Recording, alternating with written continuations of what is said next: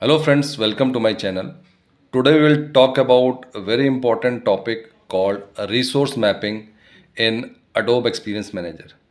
So resource mapping is one of the important concept based upon which all the resources, whether it is vanity URL, hosts, redirect URL, those are all managed in AEM and based upon that all the URL you want to map, you have to use this prefix forward slash content and after that the path of the resource. So resource mapping is very important. All the sling model implementation where we want to fetch data, where we want to fetch resources, those are all managed using this resource mapping.